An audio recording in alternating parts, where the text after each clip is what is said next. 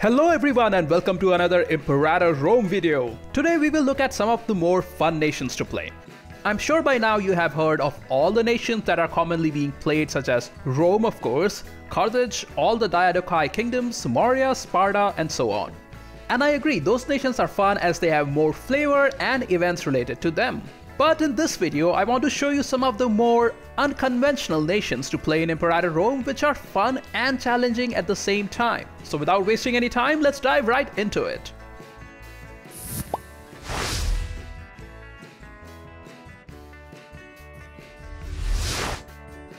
We start with Epirus or Epirus. Epirus starts as a Hellenic nation in the Greece area they start with a decent population and economy compared to other neighboring Greek states. The advantage you have with playing Epirus is that you can expand south into Greece very early. Those wars are easy and you can run them over without any problems.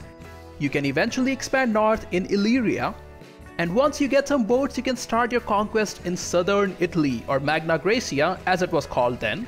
Most of the initial expansion is fairly smooth as all cities you will conquer are of the same culture group and that's Hellenic and most of them are also the same Hellenic religion, thus minimizing the wrong culture and wrong religion malus.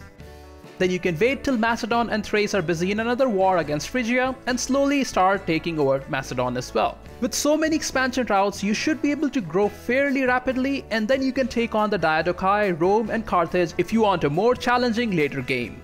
And since you guys seem to like some history tidbits thrown in with these videos, here's one on Epirus.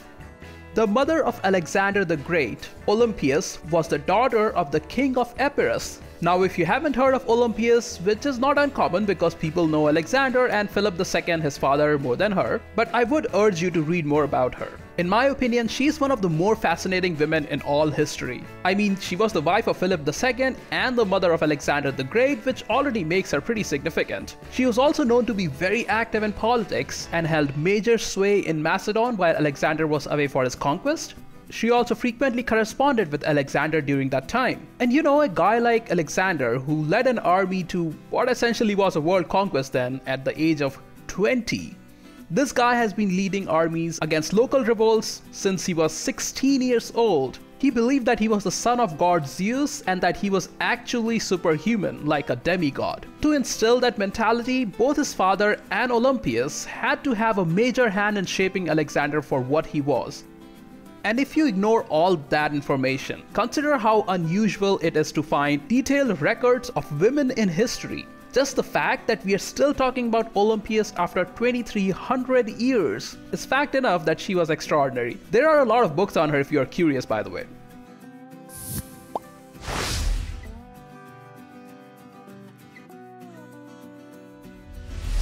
Getting back to Imperator Rome, the second fun nation I like is Bactria. It has a difficult start, but it's definitely worth playing. Bactria starts as a satrapy to the Seleucid Empire, which means they are a subject. So at the start, you cannot attack anyone, even though there are some juicy targets in the north. However, there is an event at the start of the game that will either give lot of land from Seleucid Empire to Maurya, or both empires will go to war. This event will always happen and it doesn't matter which way the AI goes, whether surrendering the provinces to Maurya or going to war against them. You should declare war on your overlord Seleucid Empire as early as possible. You will have to fight Parthia as well because they are the other loyal subject, but Seleucid Empire's army are scattered around and it will give you enough time to siege down Parthia and start marching towards the Seleucid Empire provinces. Bactria also starts with a significant population and a healthy economy, so once you get the first war sorted out, further expansion becomes much easier. Historically, Bactria has been part of other empires till date. They were part of the Medes, then the Persian Empire, then Alexander's Empire, and now they are under Seleucid Empire. After this, Bactria actually broke off from the Seleucid Empire too and formed the Greco-Bactrian Kingdom, which thrived for a long time and expanded south into India. Eventually, they collapsed due to internal conflicts, but in Imperator, playing as Bactria is both fun as you can have a strong economy and challenging because you will have to face both Seleucid Empire and the Mauryan Empire at some point.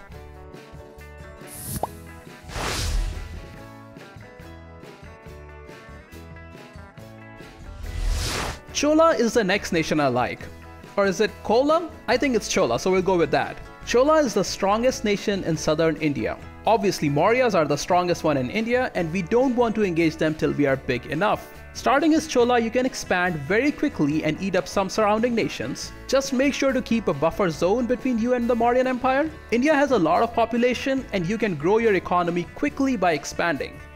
Facing off against Maurya is going to be difficult anyways, but that's the challenging part and you can time it when they're busy in another war and then eat them up bit by bit.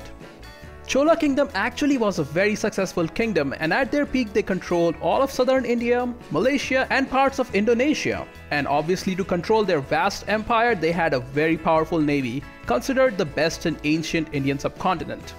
One fun fact about southern India is that no North Indian nation has ever controlled all of South India. Even Mughals at their peak, who had basically all of India, did not have the southern tip. And I find that very fascinating. I don't think it's because of logistics or difficulties, I think it just happened to be that way by circumstances. It's an interesting historical tidbit anyways.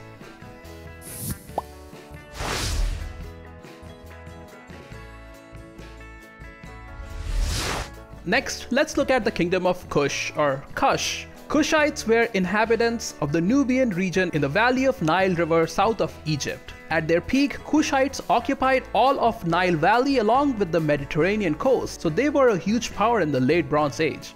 They were eventually defeated by the Assyrians and later Persians when Egypt came back to its full glory. In Imperator Rome, Kush starts as a small nation to the south of Egypt. Although Egypt is super strong here, as Kush you can expand into the other smaller nations nearby, the region is fairly prosperous actually with decent population and a lot of good trade goods such as precious metal and incense. So you can consolidate power and build a strong base here. Then wait for Egypt to go to war against Phrygia or Carthage and take your chances with them. Or you can expand to the Arabian Peninsula once you secure the port city. Either way, playing as Kush will provide you with a good expansion base and then a good mid-game challenge in taking on Egypt.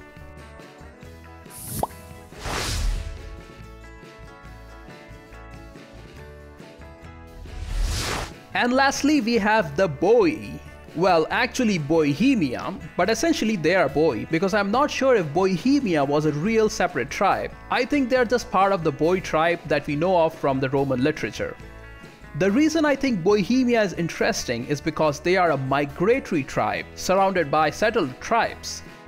Migratory and settled tribes are two different types of government types, and I'm not going to get deep into the government mechanics here because I think that deserves a whole separate discussion.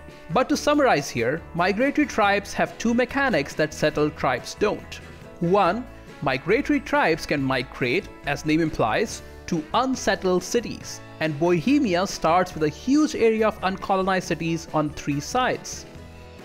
Settled tribes can also colonize, but they need a city with 10 population to start colonizing next to it, which is rare to find in this region. While as migratory tribe, you can just use some oratory power to take up to 20 pops from a city and move them to a new city. The second mechanic is that migratory tribes can also pillage cities. You can do that if the city has a civilization value of at least 20 which isn't the case with neighboring cities, but you start really close to the North Italian tribes who are Hellenized and have sufficient civilization. Pillaging gives some monarch points, but really not that much, so it's just a minor perk. But you can still expand into the surrounding nations, or just go full colonization and expand that way. Either way, you will be mostly expanding into provinces with Gallic culture group and Druidic religion, minimizing the wrong culture and religion happiness issues, making for a fun and challenging playthrough. And that was my short list of interesting off-the-road nations to play as in Imperator Rome. If you are a new player to grand strategy games, you should start with either Rome or Egypt or one of the bigger nations. But if you have played a bit of EU4 or CK2 or are just looking for an adventure, you should definitely give one of these nations a go. Check out my other Imperator Rome videos and let me know in comments which nation got your interest the most. You were watching a Radio Guide, thank you for your time and I'll see you all in the next one.